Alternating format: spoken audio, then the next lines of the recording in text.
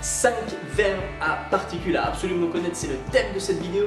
Avant que je t'en dise plus, tu peux t'abonner ici en cliquant sur le petit bouton subscribe ou alors un peu plus bas si tu es sur mobile, tu appuies sur la cloche si tu veux recevoir tous les cours uploadés de b-line.com et également tu peux retirer gratuitement ton guide vidéo et complet euh, pour apprendre à parler anglais. Si tu désires enfin tenir une conversation simple ou compliquée en anglais, si tu désires progresser et pratiquer l'anglais chaque jour, eh ben, tu vas pouvoir euh, le cliquer en bas, euh, quel que soit ton niveau, si tu pars de zéro ou même si tu as peur de te lancer, c'est fait pour toi, c'est gratuit, ça fait 10 ans que j'enseigne euh, et tu vas pouvoir avoir accès à un cours d'anglais qui te permettra de mieux prononcer, d'accentuer la, la, bonne manière les mots anglais, de gagner en fluidité et je t'expliquerai aussi quelles sont les différentes erreurs que les Français font alors qu'ils essayent de parler anglais. C'est gratuit, tu cliques, tu reçois ça chez toi, email, prénom et ensuite tu vas pouvoir avoir accès à cette vidéo. Alors, phrasal verbs, les verbes à particules, verbes à préposition. Euh, j'ai fait une vidéo introductive là-dessus.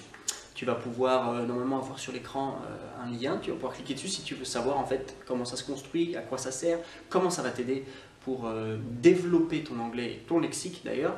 mais là aujourd'hui, on va voir surtout en fait 5 qu'il faut absolument que tu connaisses avec un verbe plutôt abordable qui est come. Donc venir, come, to come, to come. To come. Venir. Alors, euh, euh, à ce verbe to come, on va rajouter soit une euh, préposition ou deux. Alors, on va avoir quatre exemples avec une préposition et un exemple avec come plus quelque chose et quelque chose. Vous voyez ce que ça va donner. Le premier, on va prendre come up. Come up.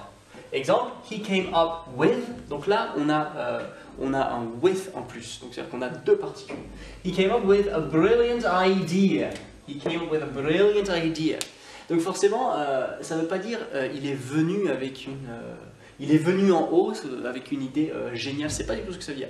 To come up with, c'est-à-dire il a pensé, ou ça peut aussi être il a produit. He came up with something new. Il a produit quelque chose de nouveau. Donc c'est produire, penser. To come up with. Attention, c'est pour ça que j'ai souligné en rouge, parce que c'est pas come up simplement, mais c'est come up with. Forcément, le verbe se conjugue. donc ça c'est la première euh, traduction, to come up with, c'est-à-dire euh, produire, penser. Euh, produire quelque chose, penser à quelque chose. Something came up something came up. Alors something came up, c'est euh, par exemple, je te donne un contexte qui va t'aider, c'est par exemple alors que tu es en train de, de, préparer pour partir en voyage, je sais pas, et euh, boum, quelque chose arrive par inadvertance. Something came up. Il y a un événement qui vient de se passer, qui vient d'arriver un peu par inadvertance. Something came up. Quelque chose vient de se passer.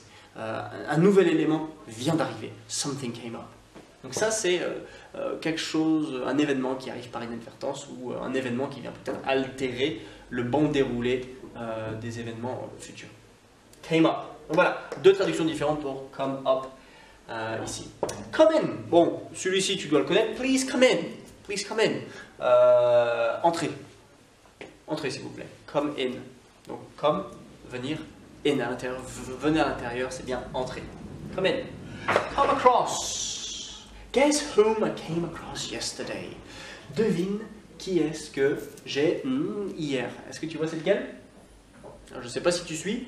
Euh, come across, c'est le fait de rencontrer par inadvertance. Je me, je me baladais dans la rue et oh, hi, guess whom I came across yesterday?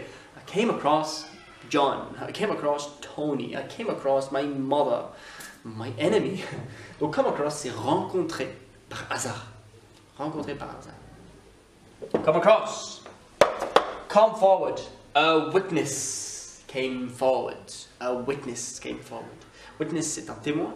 Come forward, c'est euh, l'idée de donner des informations sur quelque chose ou quelqu'un de manière volontaire. Donner des informations sur quelqu'un ou quelque chose de manière volontaire. Donc, to, he came forward. Euh, et là, ça peut être plein d'autres choses. Donc, euh, il, a fait un pas en avant tu comprends l'idée de come forward. Donc il s'est, porté volontaire et en général c'est dans la thématique de donner des informations sur quelque chose ou quelqu'un. He came forward. Donc voilà, to come, come up with, come up, come in, come across, Voilà, voilà, tu as 5 phrasal verbs que tu dois absolument connaître, que tu pourras utiliser, j'espère, dans ta vie de tous les jours pour tripler ton vocabulaire. Et n'oublie pas, n'oublie pas, il y a une chose à faire là, peut-être tu dis, je dois préparer la cuisine, peut-être je dois euh, sortir le chien, peut-être qu'il faut que je... Attention, il faut s'abonner ici, là, si jamais tu es sur... Euh, bah, c'est quelque part par ici, hein, peut-être c'est pas vraiment là, mais en tout cas, il y a un bouton sur lequel tu cliques, tu cliques sur la cloche pour recevoir les euh, cours en avant-première. Et dernièrement, tu peux repartir avec ton guide vidéo complet et gratuit pour apprendre anglais. I hope you'll have a lovely day. Talk to you later. Bye bye.